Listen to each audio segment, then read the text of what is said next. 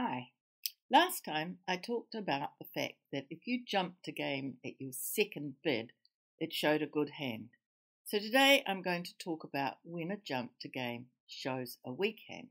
And it should follow that if a jump to game at your second bid is strong, then a jump to game at your first opportunity to bid is always weak. So let's look at a few examples. You've been dealt this gorgeous hand. You've got eight spades and a weak hand. So it's ideal for a preempt at the four level. If you only had seven spades, you'd bid three.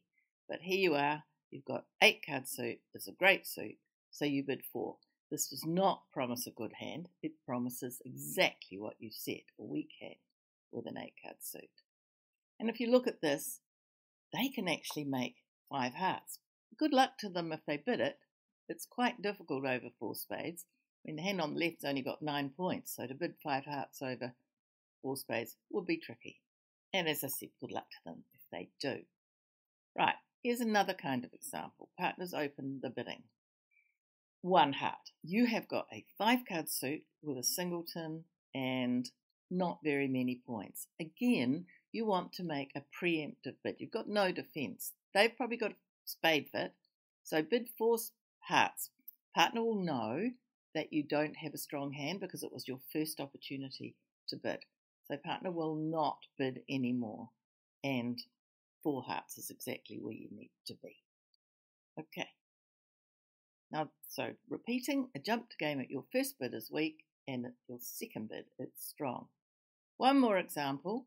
Partners open two no trumps, showing exactly 20 to 22. You've got five, which is plenty for game. You also know you've got a heart fit because partner will have at least two because partner's balanced. You should bid four hearts. That is no interest in slam. That simply says, partner, I want to be in four hearts. I know exactly what you've got. Don't bid again, please.